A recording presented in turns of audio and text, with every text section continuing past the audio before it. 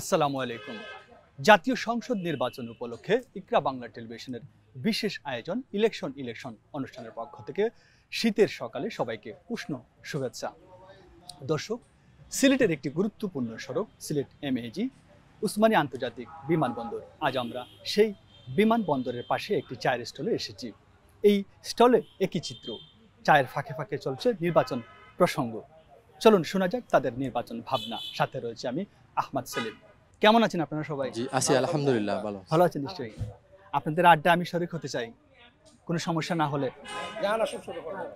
তার আগে আমরা একটু পরিচয় হয়ে নেই। তারপর আমরা নির্বাচনে আলাপে যাব। নির্বাচন নিয়ে আমাদের ভাবনা আমাদের চিন্তা শেয়ার করব।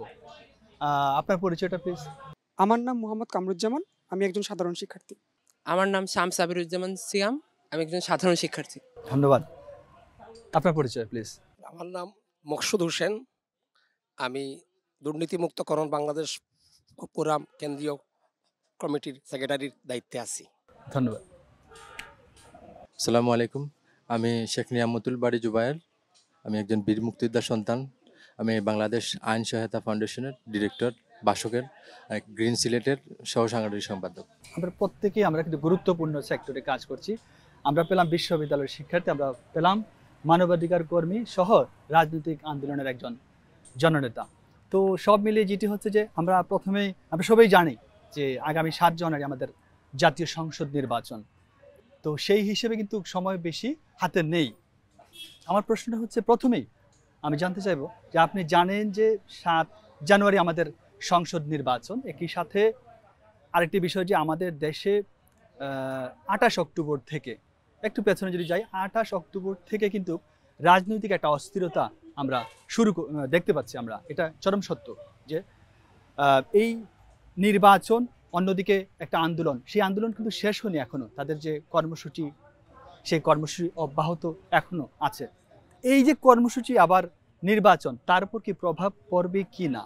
অর্থাৎ নির্বাচনের উপর এই আন্দোলন কর্মসূচির প্রভাব পড়বে কি না? নির্বাচন একটা সংবিধানের একটা গুরুত্বপূর্ণ একটা অংশ। নির্বাচন হবে পাঁচ বছরের পর আবার সরকার নতুন সরকার গঠন হবে, এটাই নিয়ম। এই ইলেকশনটা মানুষ, সরকার এবং বিশ্ব সবাই উঠে হয়েছে এটা অংশগ্রহণমূলক একটা ইলেকশন হইতো। এই ইলেকশনটা শান্তিপূর্ণ হইতো, গ্রহণযোগ্য হইতো। বাংলাদেশও এই দলীয় সরকারের দলীয় সরকারের অধীনে ইলেকশন সুষ্ঠু হয় না বলিয়েই কেয়ারটেকারের কনসেপ্ট আইছে। আমার যে কথাটা হইল, শুধু আমার কথা নয়, নব্বই পার্সেন্ট মানুষের কথা হইল যে ইলেকশন জাতীয় ইলেকশনটা সুষ্ঠু হইতো, অংশগ্রহণমূলক হইতো। আবার ফিরবো আপনার একই প্রসঙ্গে, আমরা একটু যেতে চাই এদিকে। যে বিষয়টি বলছিলাম, যদি যে যে চলমান যে আন্দোলন, বিরোধী দলের যে আন্দোলন কর্মসূচি সেই কর্মসূচি যদি নির্বাচনের উপর প্রভাব ফেলে, তাহলে কি নির্বাচন শান্তিপূর্ণ হবে? একজন তরুণ শিক্ষার্থী হিসেবে আপনি কীভাবে দেখছেন বিষয়টাকে? একটা শান্তিপূর্ণ নির্বাচনের জন্যে আমাদের প্রথমেই একটা শান্তিপূর্ণ এবং শক্তিশালী বিরোধী দল দরকার। আমাদের বিরোধী দল অনেকটাই হচ্ছে শক্তির দিক থেকে আমাদের সরকার দলের থেকে অনেক পিছিয়ে আছে। এটা হয়তোবা সরকার দলের অ্যাক্টিভিটিসের কারণেই হোক বা যে কারণেই হোক বিরোধী দলের এই ক্ষমতাটা কমে আসছে। যে কারণে বিরোধী দল যে কাজগুলো করছে, এটা সরকারের উপর তেমন প্রভাব রাখতে পারছে না। বিরোধী দল চেষ্টা করছে বৈদেশিক চাপ প্রয়োগের, যেটাও সরকারের উপর ওইভাবে প্রভাব রাখতে পারছে না। তো এই ধরনের কর্মকাণ্ডগুলো যে সরকারকে খুব বেশি একটা নাড়া দিতে পারতে, পারছে, এটা আমরা সবাই দেখতেছি যে এটা তেমন কিছু একটা হচ্ছে না। তো সরকারকে চেঞ্জ করার জন্য বিরোধী দলের স্ট্রাকচার বিরোধী দলের যারা এখন নেতৃত্ব স্থানীয় যে মানুষগুলো আছে, তাদেরকে হচ্ছে এই জায়গা থেকে নিজেদের দলকে শক্তিশালী করার জন্য স্ট্রং করার জন্য পদক্ষেপ নিতে হলে নিতে হবে এবং এর এর মাধ্যমে হচ্ছে তারা এই যে কর্ম, কর্মকাণ্ডগুলো করেছে, এটুকু যদি আরেকটু শক্তিশালী করা যায়, তাহলে হয়তো একটা সুষ্ঠু নির্বাচনের দিকে, যেটা আমরা সবাই আশা করি, এটা আর অবশ্যই সরকারের সদিচ্ছা থাকতে হবে এবং আলোচনার মাধ্যমে দুইটা দলীয় আলোচনার মাধ্যমে একটা জায়গায় যেতে হবে যাতে আমরা জনগণরা যেটা চাই জনগণ একটা সুষ্ঠু নির্বাচন যেভাবে দেখতে চাই, যে দুইটা বড় রাজনৈতিক দল থাকবে, সরকার দলও বিরোধী দলের কথা শুনবে। বিরোধী দলও সরকার দলের সাথে একটা মতের মিলে গিয়ে এরকম একটা নির্বাচন, যেটা আমরা অংশগ্রহণমূলক নির্বাচন এরকম একটা নির্বাচন আশা করি। সো এই জন্য যেটা আপনি প্রশ্নটা করছেন, যে আসলে এটা প্রভাব রাখতে পারতেছে কিনা? প্রভাব রাখতে পারছে না, পারবে তখনই যখন বিরোধী দলকে আমরা শক্তিশালী হিসেবে হতে দিব সরকার দল হিসেবে এবং বিরোধী দল নিজের স্ট্রাকচারকে ঠিক করতে পারবে। কেমন পরিবেশ প্রত্যাশা আপনার নির্বাচনের? আমার মনে হয় বর্তমান নির্বাচন নিয়ে যেহেতু অলরেডি আমাদের বিরোধী দল নির্বাচনে আসছেন না এবং অলরেডি নির্বাচন নিয়ে অনেক ধরনের হচ্ছে কথাবার্তা ছড়ানো হচ্ছে এবং নির্বাচন নিয়ে অনেক মানুষের প্রশ্ন রয়েছে যে কেয়ারটেকার সরকার আসা উচিত কি উচিত না। আমার মনে হয় এই নির্বাচন নিয়ে সবচেয়ে বড় প্রশ্ন হয়ে গেছে যে কে নির্বাচন জিতবে সেটা না। বরং কে প্রধান বিরোধী দল হতে যাবে। কারণ আমরা মোটামুটি নিশ্চিত হয়ে যাচ্ছি যে সরকার কে হতে যাচ্ছে। কাজে আমি মনে করি যে এই নির্বাচনটা বাংলাদেশের গণতন্ত্রে তেমন খুব বড় ইফেক্ট রাখবে না। বর্তমান সরকারের প্রতিপক্ষ কোনো দল না থাকে, তাহলে সেই নির্বাচনটা সবসময় একপাক্ষিক একটা নির্বাচনের রূপ নিবে। এবং সেখানে জনগণ ভোট দিক কিংবা না দিক, সেটা কোনো ইফেক্ট রাখবে না। কারণ আমাদের কোনো অল্টারনেটিভ নাই যে আমরা এই সরকারকে না দিলে কাকে এখানে নির্বাচিত করব। কারণ সেই ধরনের ফেস বিলও আমাদের কাছে নাই, সেই ধরনের পরিচিতি আমাদের কাছে নাই, সেই ধরনের ঐতিহ্য আমাদের কাছে নেই। কাজে আমি মনে করি যে নির্বাচন যদি সুষ্ঠু হতে হয়, একপাক্ষিক না হয় অংশগ্রহণমূলক হতে হয়, কাজে আমাদেরকে কাছে চয়েস থাকতে হবে যে আপনার কাছে দুটো অপশন রয়েছে, আপনি দুইটা অপশন থেকে একজনকে বাছাই করেন। আমরা বিশ্বাস করে আমাদের, আমরা অপশনের জায়গায় নেই, বরং আমরা মোটামুটি নিশ্চিত কে নির্বাচিত হতে যাচ্ছে এবং একটি দল নিজে যেহেতু ব্যাকআউট করে ফেলেছে, তিনি অপশনের জায়গাটাকে আরও নিভিয়ে দিয়েছেন। কাজে আমরা বিশ্বাস করি, এই অপশনের জায়গা যতক্ষণ আমাদের মধ্যে থাকবে না আমরা এই একপাক্ষিক নির্বাচনের যে বলয়ের মধ্যে আছি এই বলয় থেকে বের হয়ে আসতে পারব না। কাজে আমরা বিশ্বাস করি এই নির্বাচনটাও একটা একপাক্ষিক নির্বাচন হতে যাচ্ছে। আপনার প্রসঙ্গে আবার ফিরবো আমরা। যেতে চাই এদিকে। আপনি একজন মানবাধিকার কর্মী। তো যে সংসদ যে নির্বাচন, আসন্ন যে নির্বাচন, সেই নির্বাচনে কোনো ধরনের মানবাধিকার লঙ্ঘন হচ্ছে কিনা অথবা নির্বাচনের দিন, ভোটাধিকার প্রয়োগের দিন লঙ্ঘন হবে কিনা, এরকম কোনো পরিস্থিতি, পরিবেশ কি আপনি চিন্তা করছেন? আমরা তো আসলে নির্বাচন সুষ্ঠু এবং শান্তি এটাই চাই। নির্বাচনে এখন দেখা যাচ্ছে যে বিরোধী দল যে এখনও আসে নাই আর আসবেও না। একতরফা নির্বাচন হচ্ছে। স্বতন্ত্র প্রার্থী কিছু কিছু জায়গায় আছে আবার কিছু কিছু জায়গায় নাই। আমরা আসলে শান্তি এবং সুষ্ঠুভাবে নির- নির্বাচনটা আমরা মানবাধিকার। যাতে লঙ্ঘন না মানবাধিকার হয়। যাতে লঙ্ঘন না হয়। আপনি জানেন যে এবারের নির্বাচন একটু ভিন্ন। ভিন্ন বলছি এই কারণে যে রাজনৈতিক পরিবেশ এবং নির্বাচনের পরিবেশও ভিন্ন। সেই বাস্তবতায় বলছি আমি নির্বাচন ভোটের পরিবেশটা ভিন্ন। তো এটা সরকারের জন্য কতটা চ্যালেঞ্জের? নিশ্চয়ই একটা সরকার একটা কঠিন একটা চ্যালেঞ্জের মাঝে আছে এই নির্বাচনের সামনে। এই- এটা আবার দিবালকের মতো স্পষ্ট। এই চ্যালেঞ্জটা সরকার নিয়েই সাত তারিখের ইলেকশনের আয়োজন করছেন। এই চ্যালেঞ্জটা উনি কতটুকু সফল হইব, এটা এখন যে পরিস্থিতি, এটা যে পরিস্থিতি এখন শুরু হয়েছে যেন হয়েছে শান্তিপূর্ণ হইতে এখন দেখা যায় বাংলাদেশও আমার একটা হিসাবে আজ থেকে তিন দিন আগে পঞ্চাশটা জায়গায় এই নির্বাচনী সংসদীয় আসনে সংঘাত হয়েছে পঞ্চাশটা জায়গা তীব্র সংঘাত হয়েছে এবং এই পর্যন্ত এখন পত্রিকা খুললেই দেখা যায় যে এমন একটা অবস্থা সৃষ্টি ওর যে নির্বাচনটা বিরোধী দলে যে যে সমস্ত বিরোধী দলে ইলেকশন করছে না, যারা অংশগ্রহণ করছে না, তারাই এটার গ্রহণযোগ্য করার, অগ্রহণযোগ্য করার তো তারা তো আন্দোলন কর্মসূচি আছে। কিন্তু সরকার যাদের নিয়ে ইলেকশনে গেছে, তারাই এমন কার্য কর্মকাণ্ড শুরু করে, যাতে তারাই নিয়ে এটারে অংশগ্রহণ কতটুকু শান্তিপূর্ণ করবে, এটাই এখন চ্যালেঞ্জ হইয়া দাঁড়াইছে। সরকার এখন মূলত এই সংঘাত এবং সহিংসতা যদি বন্ধ না করতে পারো, তাহলে শান্তিপূর্ণ নির্বাচন কতটুকু হইব, এটা এটা এখন বিরাট একটা চ্যালেঞ্জ হইয়া দাঁড়াইছে সরকারের লগে দেশের লাগে। একই বিষয়ে বারবার উঠে আসতেছে যেটি হচ্ছে শান্তি। সুন্দর একটি পরিবেশ নির্বাচনের একটি অবাধ সুষ্ঠু নির্বাচন এবং সুন্দর একটি পরিবেশ। সেই পরিবেশ নিয়ে আপনি কি ভাবছেন? কেমন পরিবেশ হওয়া দরকার একটি নির্বাচনের? ওনার কথা ধরেই আমি শুরু করি। উনি বলছেন যে আমরা এখন যদি পত্রিকা খুলি বা আমরা যদি টেলিভিশন দেখি তাহলে আমরা রাজনীতি সম্পর্কে কি দেখি? ওইখানে মারামারি হচ্ছে।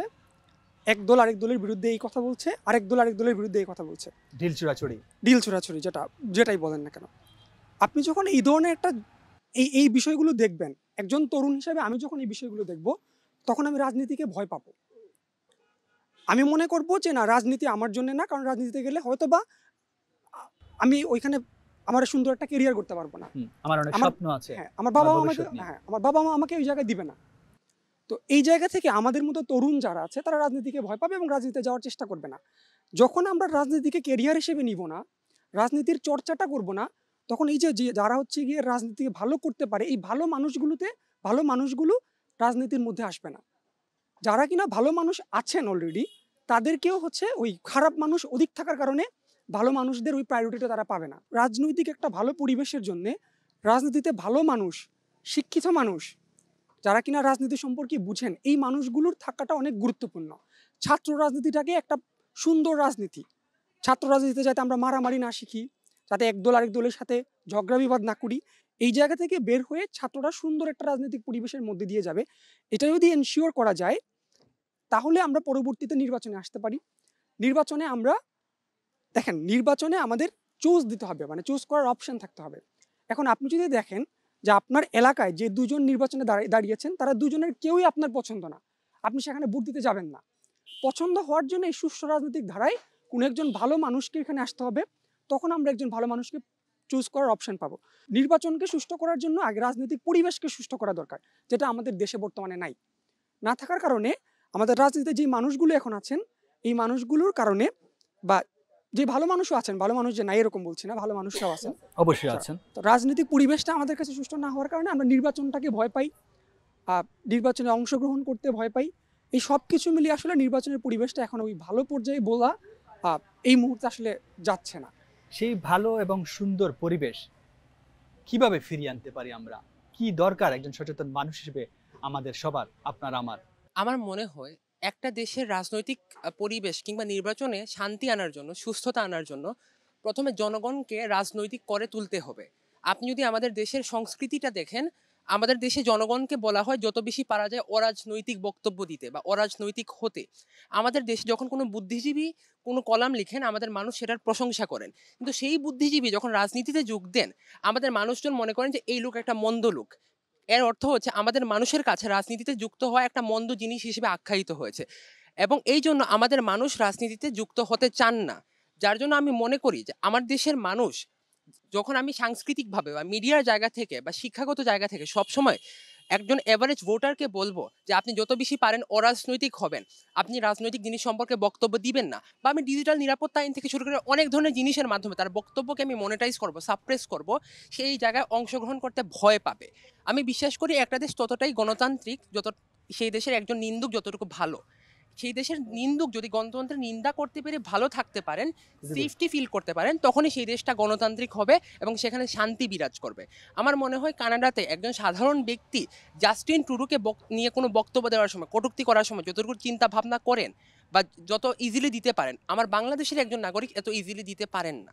আমার বাংলাদেশের একজন নাগরিক যখন কোনো একটা খোলামেলা পরিবেশে কোনো রাজনৈতিক বক্তব্য দিতে যান ওনার একশোবার নিজের সেফটি নিয়ে চিন্তা ভাবনা করতে হয়।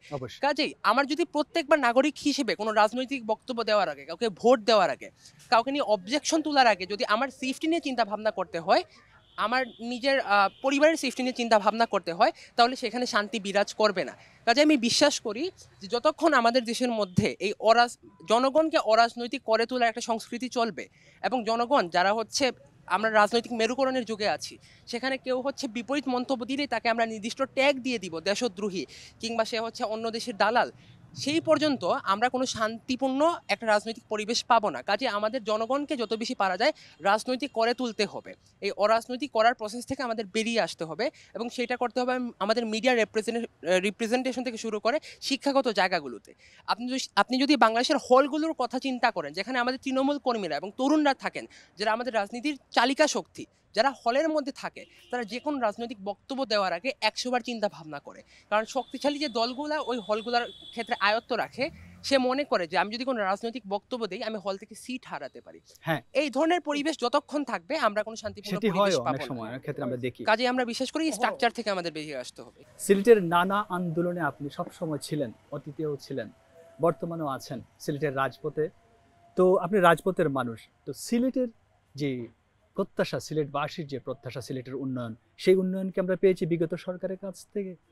আমরা যে একবারে এই সরকারের কাছে পাইছি না তাও বলা ঠিক নেই। এটারও অকৃতজ্ঞ কিছু রোড এই যে সুনামগঞ্জ সহ বিভিন্ন জায়গায় কিছু রোডের সংযোগ হয়েছে মহাসড়কের লগে সংযোগ হয়েছে এটা পাইছে। কিন্তু আমাদের কাঙ্ক্ষিত এই সরকারের যে মূল যে কর্ণধার মাননীয় প্রধানমন্ত্রী বিশ্বের আলোচিত একজন একজন নেত্রী চৌখস নেত্রী আমি মনে করি উনি এই সিলেটি পরিবার সেই দুঃসময়ে সাবেক স্পিকার আলাদ মহেন্দ্র সিং চৌধুরী বা অর্থাৎ সিলেটিটাই এই পরিবারকে এই বঙ্গবন্ধু পরিবারকে যেভাবে সহযোগিতা করেছে দুঃসময় পাশে ছিল। দুঃসময়ে পাশে ছিল। সেই তুলনায় সিলেট ওনার কাছ থেকে আমি মনে করি মানে কাঙ্ক্ষিত কিছু উন্নয়ন পায়নি। কাঙ্ক্ষিত উন্নয়নগুলো কি কি? তার মধ্যে ধরেন কাঙ্ক্ষিত উন্নয়ন অনেক কিছু। আমরা আমাদের রেল এই যে, এই জনপ্রিয়, উনি রেল, একটা জনপ্রিয়, একটা গণপরিবহন, উনি রেল বিভাগকে শক্তিশালী করেছেন। নিঃসন্দেহ যেটা ও কোনো অতীতে সরকার করে নাই। কিন্তু সিলেটের এই রেল যোগাযোগটা খুবই দুর্বল। আজকে চট্টগ্রামের একটা সোনার তৈরি, একটা সোনার বাংলা এক্সপ্রেস ডাইরেক্ট সিলেট, যা আমাদের সিলেট থেকে একটা ডাইরেক্ট একটা ট্রেন সার্ভিসটাও আজ পর্যন্ত আমরা আনতে পারি নাই আর আমাদের কোনো নেতারা উদ্যোগ নিতে পারেন নাই। এরপরে আমরা হাওয়ার এই যে আমাদের উন্নয়ন, যে, এই যে সুনামগঞ্জ, আপনার এই সমস্ত দরিয়া একবারে শালুটিগর থেকে ধরে কোম্পানিগঞ্জ, এই যে হাওর, এই যে একটা আল্লাহর দেওয়া যে একটা সুন্দর নৈসর্গিক অবস্থা, এইগুলা যাকে ধ্বংসের পথে যার গিয়া। টাঙ্গুয়ার হাওয়ার লইয়া আমরা গর্ব করি। আমরা গর্ব করি টাঙ্গুয়ার হাওয়ার লইয়া। এই টাঙ্গুয়ার হাওয়ারটা পত্রিকা ফরিয়াওয়ালা দুঃখ লাগছে যে এই যে ভ্রমণ বিবাসু বাইরা যার গিয়া লঞ্চ চক্করদের আর ওটা প্লাস্টিকগুলা ফালাইয়া আস্তা টাঙ্গুয়ার হাওয়ারটার ধ্বংস করে দিলা। এখন কয়দিন বাদে টাঙ্গুয়ার হাওয়ার নামে থাকবে এই যে অবস্থা। এটার ব্যাপারে সরকারের কোনো মানে আমি বাস্তবে কোনো পদক্ষেপ দেখলাম না। তারপরে আমরা চা বোর্ডের সদর দপ্তরটাও নাই। আমরা হাইকোর্ট আছিল হাইকোর্টটা নাই। আমরা সিলেট উন্নয়ন কর্তৃপক্ষ ওয়ার কথা আছিল এখন খালি ওর করিয়া বিল পাস হয়েছে আমাদের যে রাস্তাঘাট, যেভাবে রাস্তাঘাট হওয়ার কথা, আজকে ব্রিজ, এই যে আমাদের ঝুলন্ত ব্রিজ, আমরা সিলেট, এই যে আধ্যাত্মিক নগরীর ডেভেলপমেন্ট এটা উন্নয়ন এটা সংস্থা যেটা ওই আমরা সিটি কর্পোরেশনের উদ্যোগে যে এটার নাম আপনার আর কিতা রে? সিলেট উন্নয়ন কর্তৃপক্ষ। এটাও সিলেট উন্নয়ন কর্তৃপক্ষ। বিল পাস হয়েছে এটা যে কবে এটা কার্যকর হইব আল্লাহ ছাড়া কেউ কইতে পারে অথচ দেশের অন্যান্য কিন্তু বিভাগীয় শহরে বিভাগের শহর আছে। আমার একটা কথা কথা হইলে বহুতটা আমার ও ছাত্র দুই ভাইয়ের কথায় বর্তমানে সমস্ত তরুণদের কথা এই তারার কথাটা এটাই। ওই যে ছাত্র রাজনীতি, ছাত্র রাজনীতিটা তো আমরাই নষ্ট করছি। আজকে এই যারে আমরা স্বৈরাচার হই, এরশাদ সাহেবের, এখন দেখা যায় এরশাদ সাহেবর আমলও প্রতিটা বৎসরও কলেজ পর্যায়ে যে ছাত্র সংসদ, কলেজ পর্যায়ে যে ছাত্র আসিল, কলেজ অন্য প্রতি বছর ইলেকশন হইতো। হ্যাঁ? ছাত্র নেতৃত্ব বাড়াইতো। ডাকসু, চাকসু সব ইলেকশন হইতো।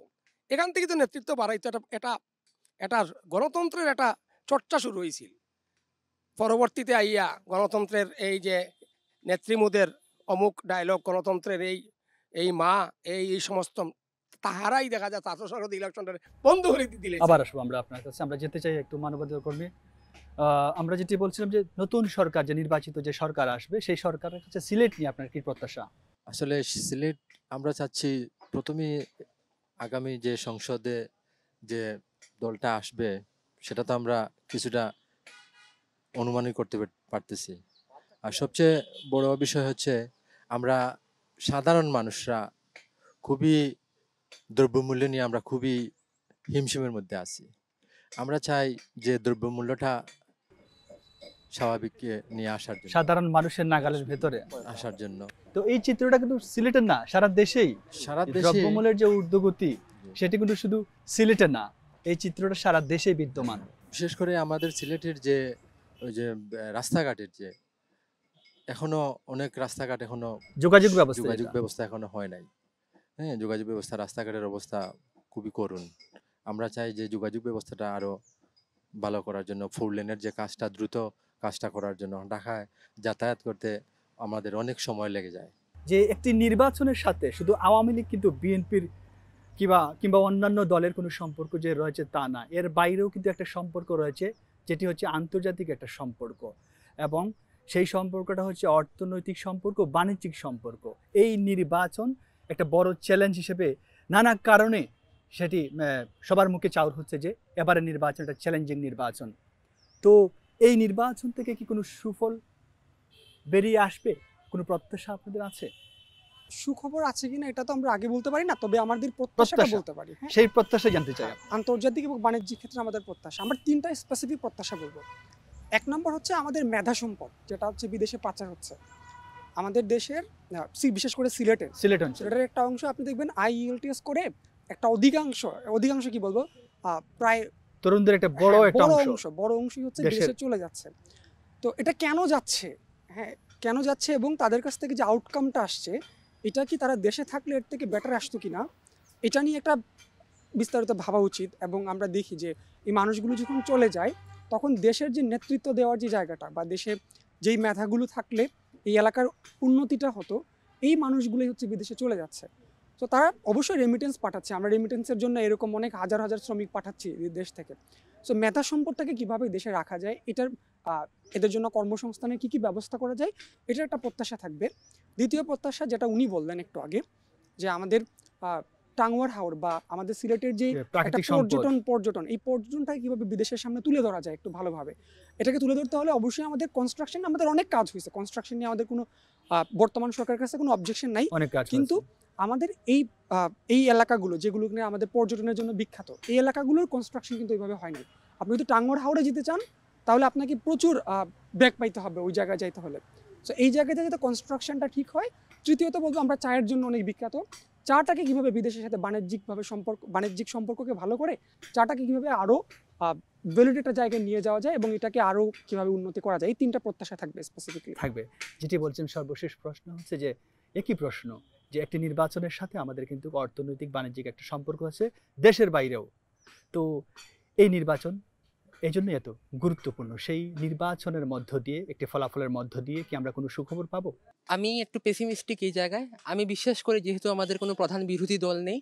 আমি মনে করি না আমাদের ফরেন পলিসির জায়গায় কোনো বড় ধরনের পরিবর্তন আসবে। যেহেতু একটা একপাক্ষিক নির্বাচন স্পষ্টত হতে যাচ্ছে।